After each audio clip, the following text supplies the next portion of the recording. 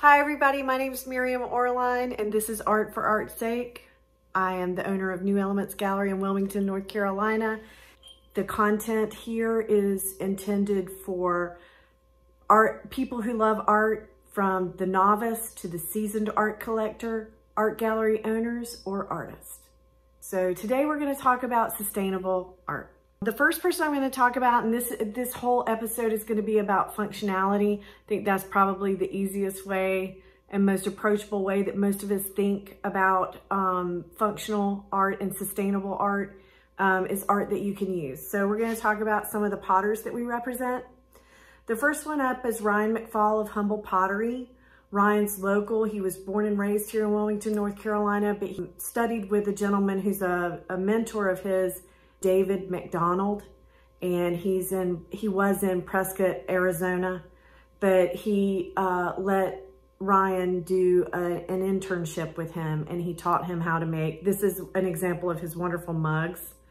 Um, they're humble pottery. This is his signature right here, if you can see that. And um, he does small mugs, large mugs, um, and he also does several colors. This is this is a really popular color from my region because we're coastal. Um, he also does a white glaze that's really beautiful. So for it to be functional, you have to be able to eat and drink out of it. And potters that work in this um, arena always have glazes that are food safe.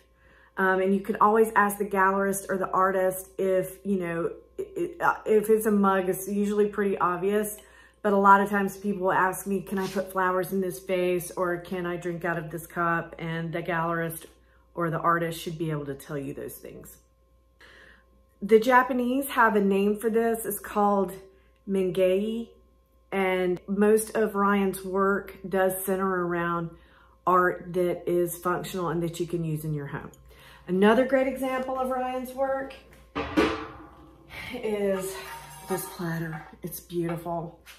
I mean, the detail and the glazing, and I have a couple of them. I've already sold one, but uh, it's made, it has a hanger, so it's made to hang on the wall. So you can take it straight from the wall and to your tabletop. And I think that, you know, I've, I'm over 45 and a woman in Southern, and so I look at Pinterest a lot. Some of the charcuterie boards that you're seeing on Pinterest, a bunch of meat and cheese or vegetables, whatever you want to put on here would be beautiful. It's also beautiful on your wall. You can also use this, um, I like to display platters in my house on an acrylic stand. And again, an art dealer, or you can go online and go and find some of those things. And it's stable enough to where you can put something pretty sturdy on an acrylic stand like that in your house.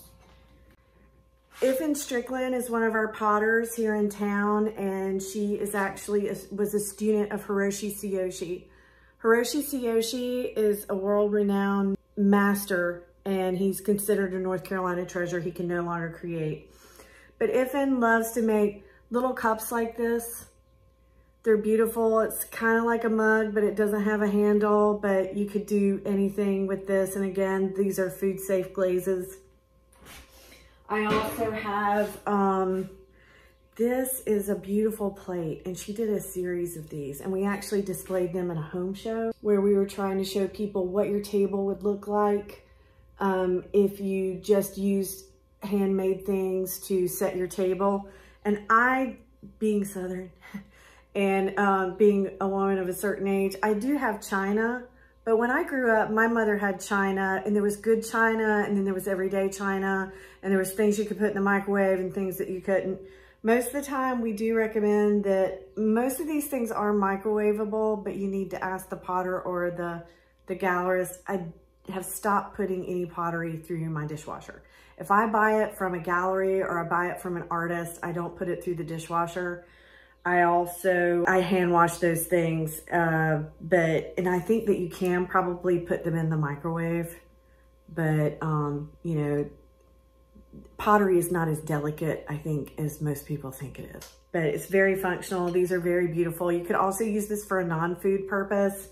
It would be great with, um, if you had it in your bathroom or on your, your, where you get dressed in the morning. This would be a wonderful place to put your cufflinks, your watch, um, things that you wear every day and that you pick up and put on every day. But, um, but it is food safe. And YiFenn is actually one of our artists that not only does functional items, but she also does um, just sculpt, straight up sculpture. And she's good at everything. Um, and probably one of the last thing, the last artist that I'm going to talk about with this is Rachel Frey. And she's newer for us, but she is a SCAD artist, Savannah College of Art and Design.